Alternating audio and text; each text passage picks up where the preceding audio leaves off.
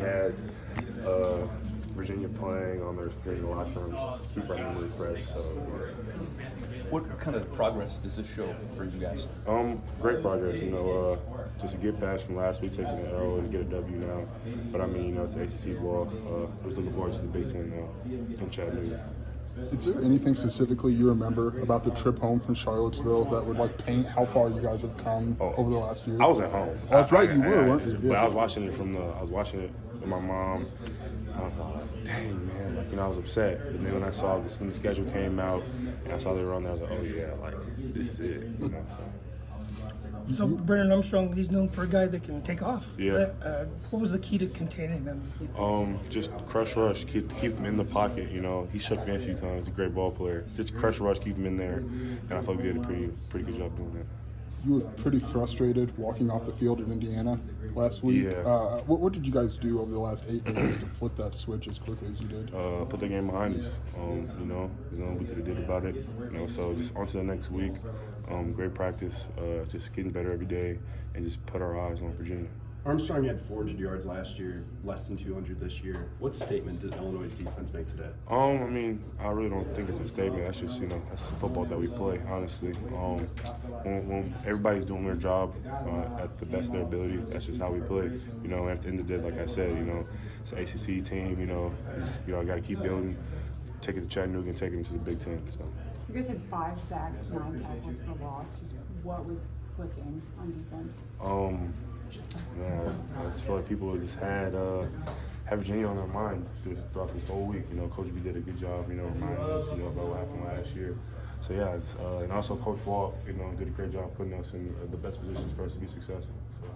Now going into a bye week, just what are you focusing on? What do you think the team's focusing on with one week off? um, naps, food, more naps. Uh, no, just uh, you know, just get a head start on Chattanooga, um, recovering, recovering, you know, hydrating. So you know, I feel that's a big thing going on going into this bye week. What does Gabe Jacas show? Man, that kid right there. The funny thing is, so when he first got here, me and him would go work out. You know, um, we go in the indoor workout. I'm like, man, this kid's got some, You know, we work on some moves. Not saying no sacks because of me, but you know, we work on some moves. I'm like, man, this this kid's good. This kid's good. You know, and we go in the fall camp. I'm like, yeah, he, he's gonna be a ball player. He's really, really good. I'm so excited for his future. See a lot of freshmen built like him. I mean, I was built like him when I was a freshman, but you know, it's not, you know. I mean, you talk about man, past the Indiana game. It seemed like Coach Bielema made a point to bring up what Virginia did Yeah. last year. Was that effective motivation? I mean, yeah, it was, it was motivation, but at the end of the day, like you know, it's it's football. It's what we do. You know, um, just so we're going in to play defense. That's, this is what we do. So like, it's just another team on the schedule, honestly. But yeah, we had, you know, we had a little chip on our shoulder. Do uh, you and you and Johnny have uh, friendly uh, rivalry? Oh, you have no idea. You have no idea. I even want to hear this. So after the end of the game, you know, he he's a monster, right? Friendly competition. So I'm like, oh man, okay, Johnny. All right, okay. So on the bus ride home, I'll you know, I'm like, man, Johnny's balling. Watching this film, and I'm asking him, I'm trying like on this, like, what do you do for this? What do you do for that? Da da da.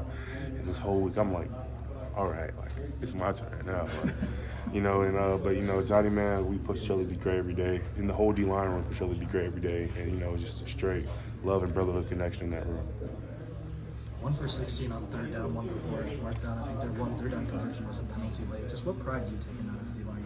Um, a lot of pride. As a D line, a lot of pride. Uh, Coach J-Mo does a great job, you know, enforcing that in us. Um, so yeah, like we, you know, Coach J-Mo threw us actually at the end of the game when we were up 16, 17 points, two minutes left. I told Coach, hey, like, they're on the goal line, like put it in, like we don't want them to score. We take pride in that, you know, like we take that serious. You know, that's that's our culture, that's our creed. So. How gratifying was it to be able to dance at the end of that fourth quarter?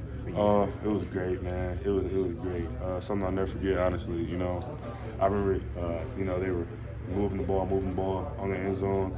I, I was like, hold on, because I left my helmet all the way down the other end. I'm thinking we're done. I'm like, oh, they're three yard line. I took off sprint, grab my helmet. Go, go, come on, come on. So, come on, put me in here. You know, he did. I didn't make an tackle on one play, and we stopped him. So, you know, I just and for our defense to not break, not let them in the end zone. You know, I'm just so excited, so proud of proud of you know the 32 squad.